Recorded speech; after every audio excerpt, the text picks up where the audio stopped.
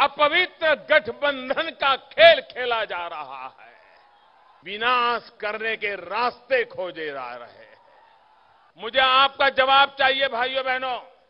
क्या हिंदुस्तान को मंत्र तंत्र चाहिए कि लोकतंत्र चाहिए? नीतीश बाबू ने अपने पहले मुशायरे में भी ये थ्री इडियट का गीत क्यों ले आए?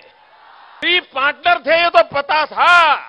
लेकिन उनको ढूंढ ढांड करके अगर कविता की पैरोडी करने का मन कर गया तो भी थ्री इडियट वाला कर गया थ्री इडियट वाला कर